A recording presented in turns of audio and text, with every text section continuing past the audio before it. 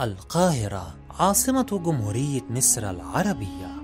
يعود تاريخها إلى نشأة مدينة أونا الفرعونية وهي منطقة عين شمس حاليا وإلى الفتح الإسلامي لمصر على يد عمرو بن العاص عندما أنشأ مدينة الفسطاط.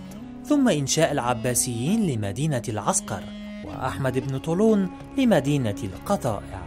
مع دخول الفاطميين مصر بدأ القائد جوهر الصقلي في بناء العاصمة الجديدة للدولة الفاطمية بعد أمر من الخليفة الفاطمي المعز لدين الله وذلك في عام 358 هجريا.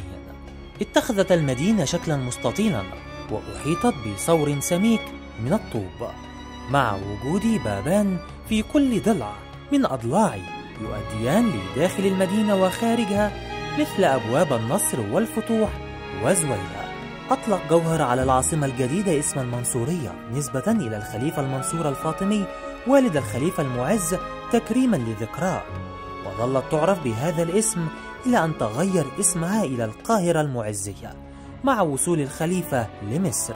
والذي أعلن أنها عاصمة لدولته الفاطمية في السابع من رمضان عام 362 هجريا. ليظل منذ ذلك الحين اسم القاهرة على عاصمة مصر.